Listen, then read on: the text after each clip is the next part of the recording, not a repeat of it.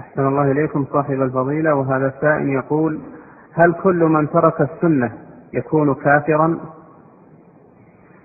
في تفصيل لأنه قد يكون أنه ما بلغه الحديث ويكون يكون بلغه ولم يصح عنده وصح عند غيره يكون بلغه وصح عنده لكن آه، فسره بتفسير ظهر له ولم يظهر لغيره.